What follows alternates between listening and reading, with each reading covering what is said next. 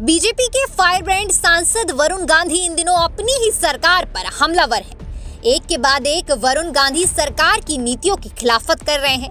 खासकर बेरोजगारी के मुद्दे पर वरुण गांधी, मोदी और योगी दोनों सरकारों पर हमलावर हैं। वरुण गांधी इन दिनों बेरोजगारी की समस्या को दूर करने के लिए छात्रों की मदद के लिए जुटे हैं।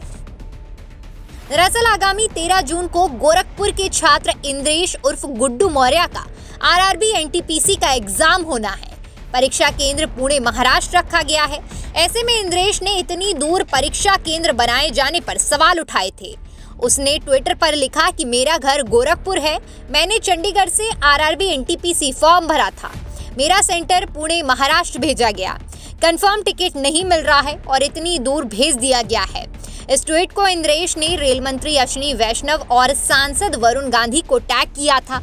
इंद्रेश की परेशानी का बीजेपी सांसद वरुण गांधी ने संज्ञान लिया।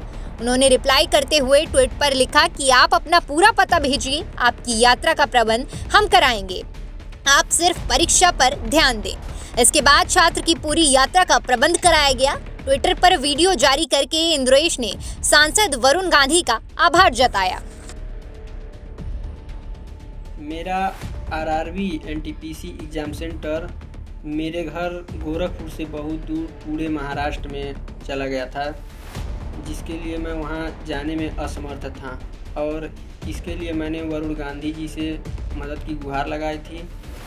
उनके द्वारा मेरे संपूर्ण यात्रा का प्रबंध करा लिया गया है, जिसके लिए मैं माननीय वरुण गांधी जी को बहुत बहुत धन्यवाद देना चाहता हूँ और मेरे परिवार की तरफ़ से उनको बहुत बहुत धन्यवाद।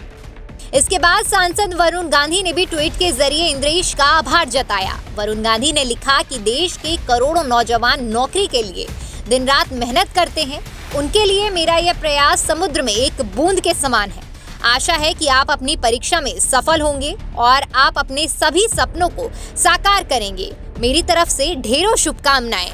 बड़ा सवाल ये है कि इस छात्र की मदद के लिए तो वरुण गांधी सामने आ गए। लेकिन देश में ऐसे लाखों करोड़ों छात्र मौजूद हैं जिनकी मदद के लिए कोई आगे नहीं आता।